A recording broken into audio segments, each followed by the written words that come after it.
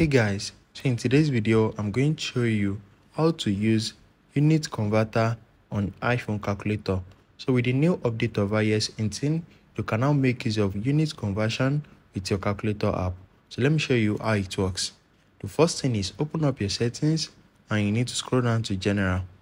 After that, click on software update and update your device to iOS 18. So now you can now open your calculator app and once you open it, click on this icon right here. You can also do this on your iPad. So once you click on that, enable convert. So now once you enable convert, you can now make use of unit conversion. So just click on this icon right here and you can convert angle, area, currency, data, and different other things like that. As you can see, there are a lot of things you can convert. So let's select time and you can select any one of your choice.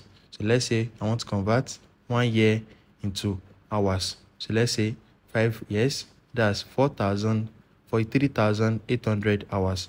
So it is very easy and straightforward. You can also select this one and change it. So if you found this video helpful, smash the like button and subscribe to my channel for more amazing videos like this. Thanks for watching.